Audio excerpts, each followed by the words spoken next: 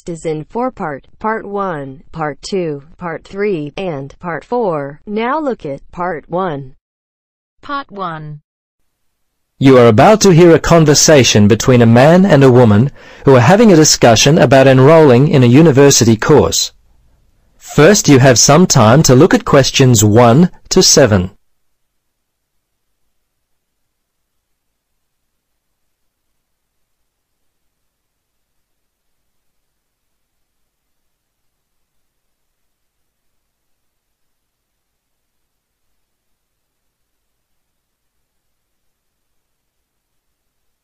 Now, listen carefully and answer questions 1 to 7. Registrar's office, this is Pam. Yes, hello. I'm calling about enrolling to study at the university. This is the right number? Yes, this is Mitchford University admissions. What would you like to know? Well, basically I need to know what I have to do to be enrolled as a student. You see, I'm currently studying education at another school. I've just finished my first year, but I'm not really enjoying it. I think I'm more interested in accounting. My dad teaches maths, so I thought it might be a good choice. Well, better than business anyway. Okay, okay. Have you received a registration pack? No? How can I get one of those? Well, you've got to have one to register. You can enroll at the university at any time after you receive a registration pack. These are usually available from September for first year and transferring students and from November for returning students. On the basis of the information contained in the registration pack, you should attempt to make a firm choice about which courses to study before completing your form. I see. So I've only got a month to get my registration pack in. Can you send me one? Sure.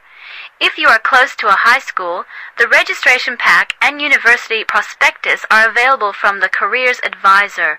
Would that be helpful? Well, the closest school's too far away and I haven't got a car. Are there any other ways you can send it to me? Well, for prospective students who have already left school, the registration pack and prospectus are available from the university information line. But that might not be of help for you? No, not really. I'll tell you what.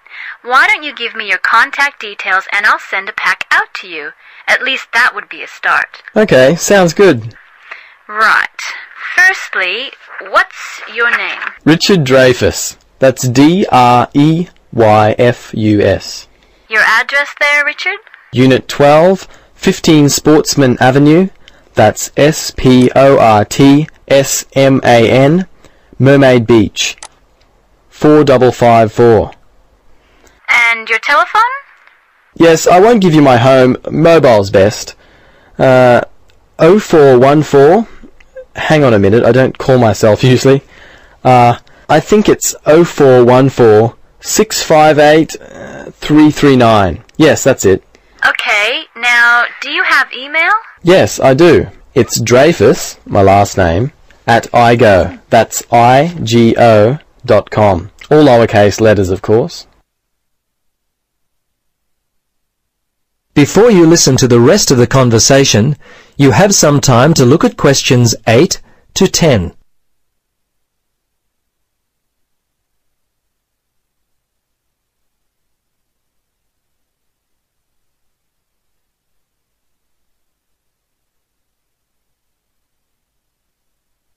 Now listen carefully and answer questions 8 to 10. Okay, that looks fine.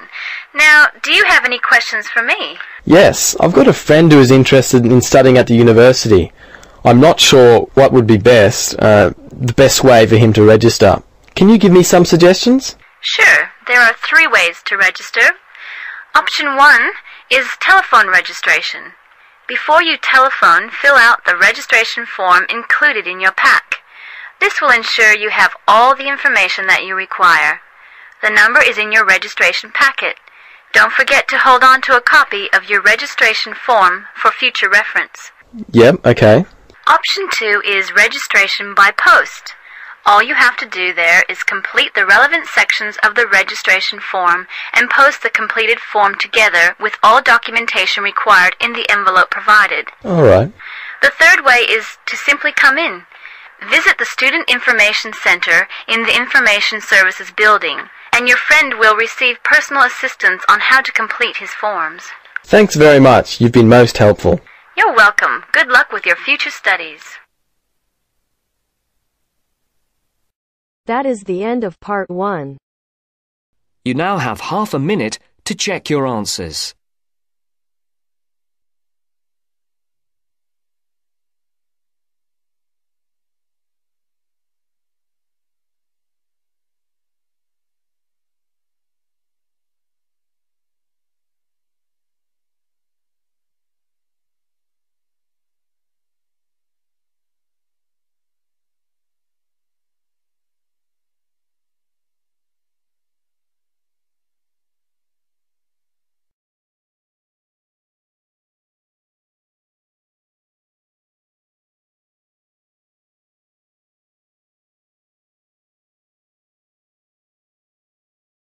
Now turns to part two. Part 2. You are going to hear a conversation between a student and a driving instructor.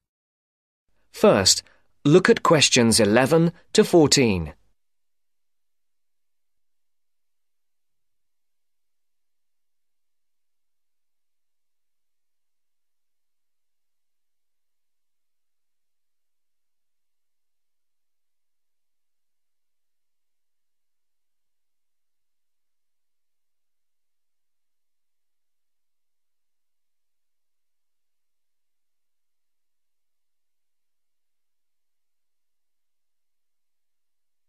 Listen carefully.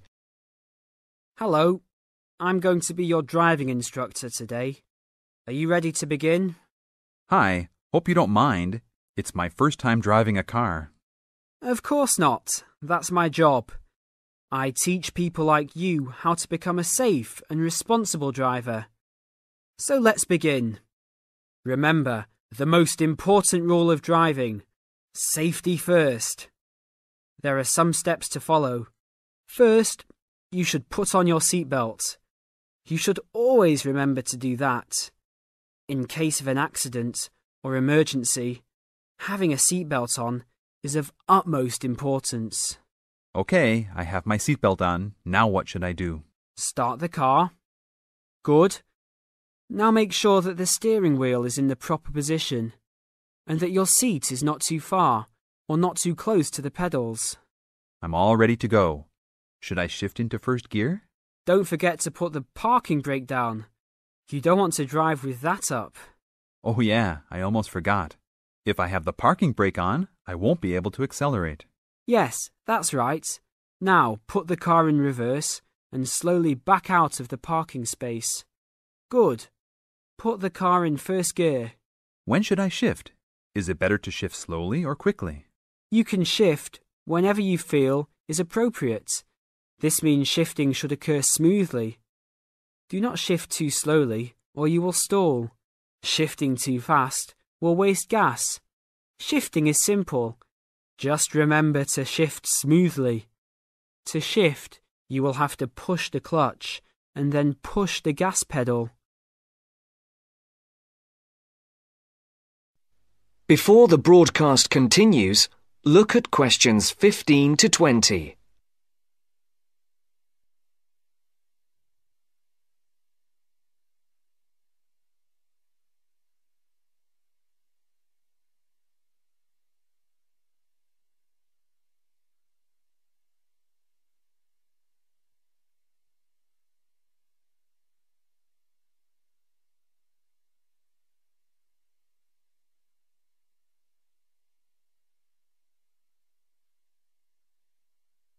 You will now listen to the second part of the talk. Remember, smoothly is the key to good shifting. Like this? Yes, that's good. Now keep it slow. Don't drive very fast just yet.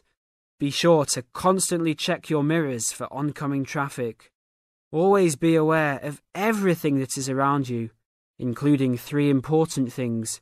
Remember these three people crossing the streets, other cars, and bicycles riding next to you. What should I do if I see a yellow light? Well, it's always better to brake instead of trying to run it.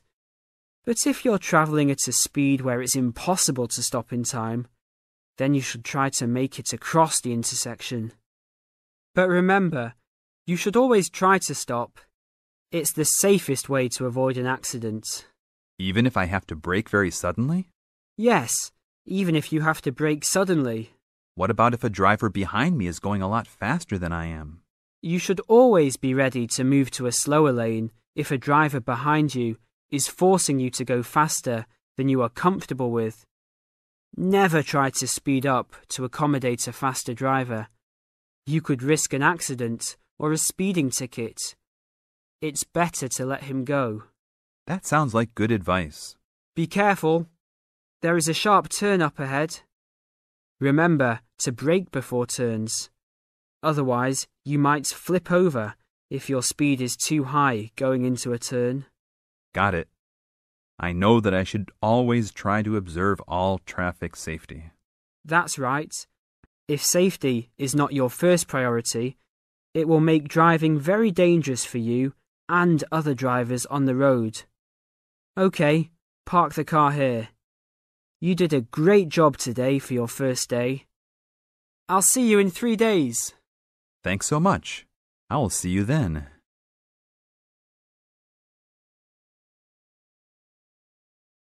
That is the end of part two. You now have half a minute to check your answers.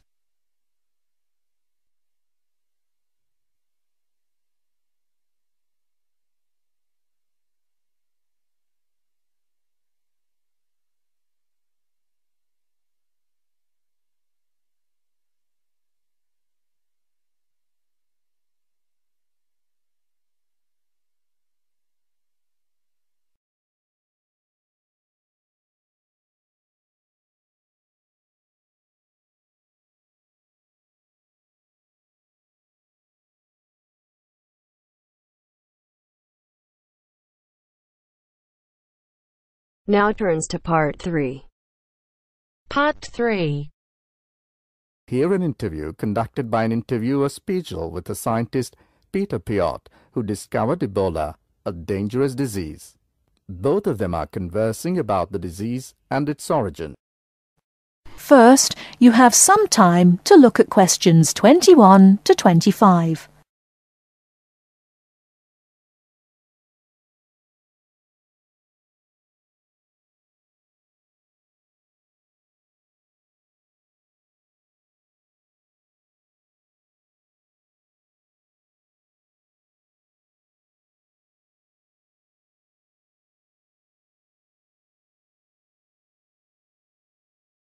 Now listen carefully and answer questions 21 to 25. Professor Piot, as a young scientist in Antwerp, you were part of the team that discovered the Ebola virus in 1976. Can you tell how did it happen? I still remember. Some day in September, a pilot from Sabena Airlines brought us a shiny blue thermos and a letter from a doctor in Kinshasa in what was then Zaire in the thermos. He wrote there was a blood sample from a Belgian nun who had recently fallen ill from a mysterious sickness in Yambuku, a remote village in the northern part of the country. He asked us to test the sample for yellow fever. These days, Ebola may only be researched in high security laboratories. How did you protect yourself back then? We had no idea how dangerous the virus that we were dealing with was. And there were no high security labs in Belgium back then. We just wore our white lab coats and protective gloves.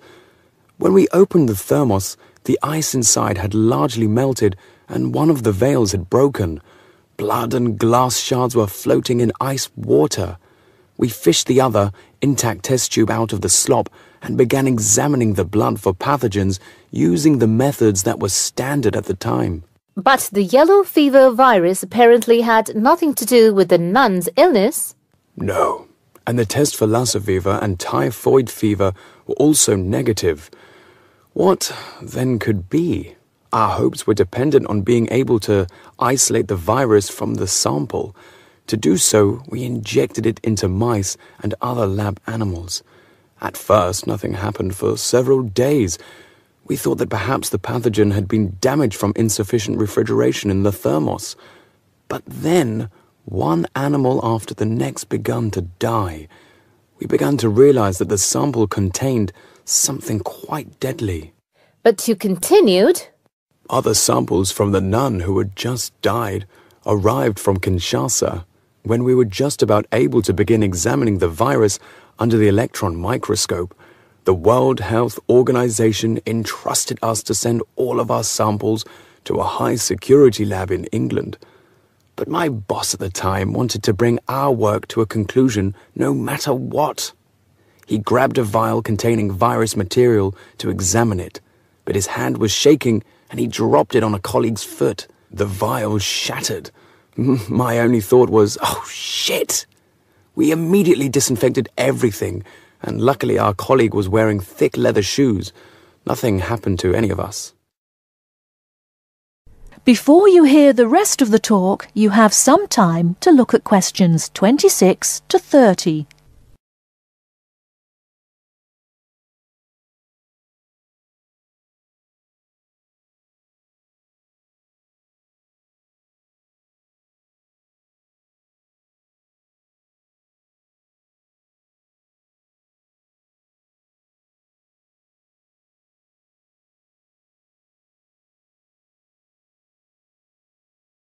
Now listen and answer questions 26 to 30.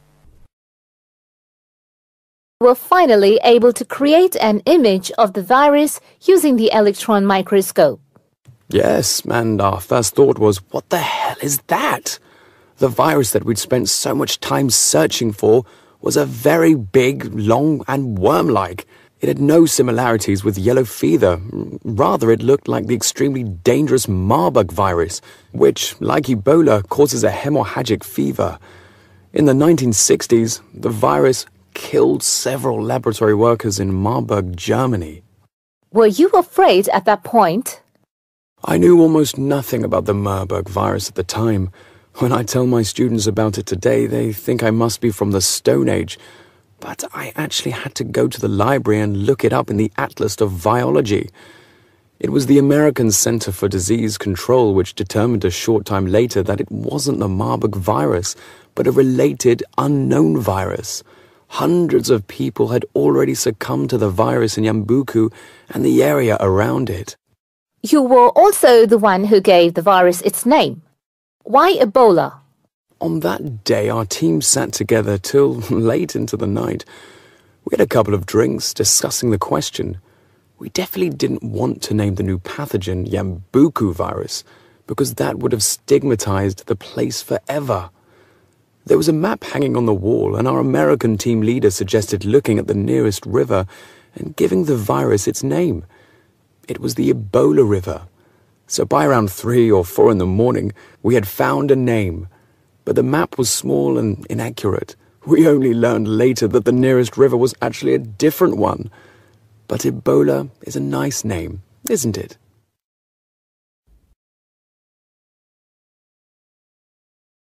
That is the end of part 3. You now have half a minute to check your answers.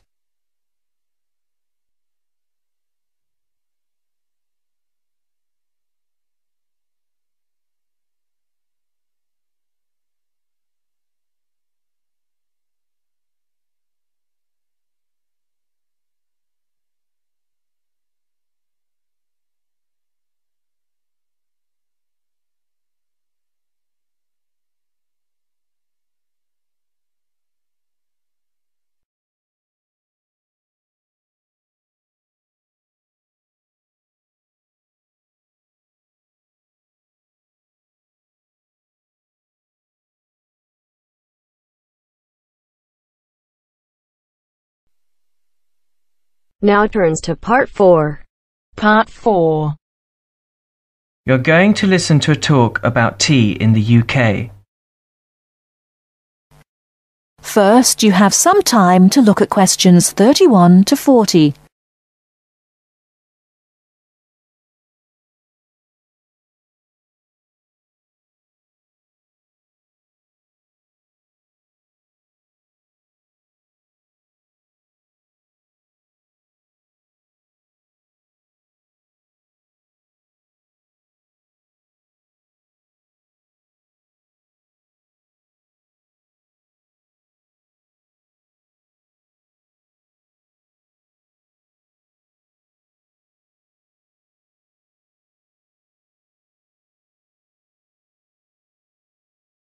Now listen carefully and answer questions 31 to 40.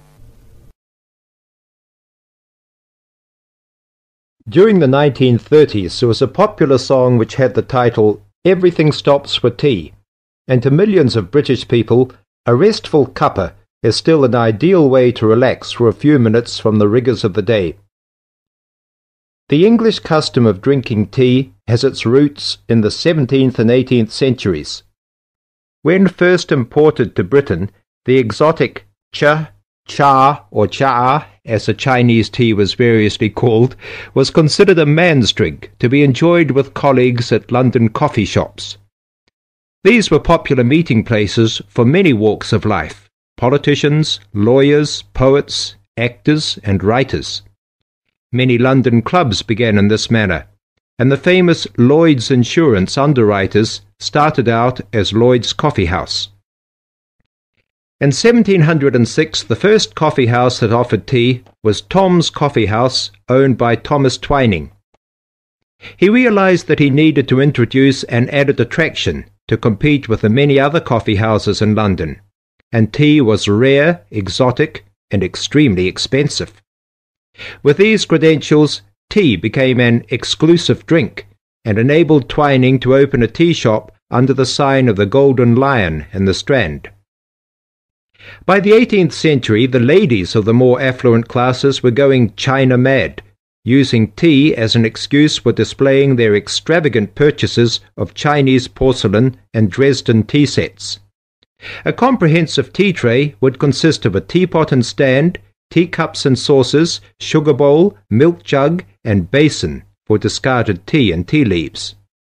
Tea was still expensive and kept in locked tea caddies. Skilled craftsmen fashioned caddies of carved inlaid woods fitted with crystal and precious metals. To ensure the servants weren't tempted by this priceless commodity, the caddy was kept locked, and only the mistress of the house held the key and prepared tea when guests came to visit. No well brought up young Englishwoman could consider herself socially acceptable unless she knew how to brew a proper cup of tea. As the 18th century progressed, changes in commerce and working hours resulted in the main meal of the day being taken much later in the evening. The prospect of lasting from breakfast until evening did not appeal to the Duchess of Bedford, who is usually credited with being the first to alleviate late afternoon hunger pangs by introducing a small four o'clock meal served with tea. With time, the light, wafer thin toast or delicate white bread gave way to exotic fillings like tomato and egg, cucumber, chicken, or potted shrimps, followed by buttered scones, crumpets, or elegant pastries. The popularity of tea continued to spread, but it was not until 1839 that the first shipment of Assam tea, Indian tea was landed in Britain. A healthy trade with India was soon established, and tea clippers, like the Cutty Sark, now a museum in a dry dock at Greenwich, were reaching the peak of their sailing days. In 1879, the first limited shipments of Ceylon tea began to arrive, and by 1880 this had been firmly established alongside Indian and China teas, giving the broad range of teas that are available today. There have been few changes in three centuries of tea trading. London is still the centre, and indeed Twining still has a shop on the site of the original Tom's Coffee House at 216 The Strand. The name Twining has been linked with tea for over 280 years. Indeed, it was Richard Twining, in his capacity as chairman of the dealers of tea, who in 1784 persuaded Prime Minister William Pitt to reduce the high tax on tea, making the beverage more accessible to the general public. That is the end of part 4. You now have half a minute to check your answers.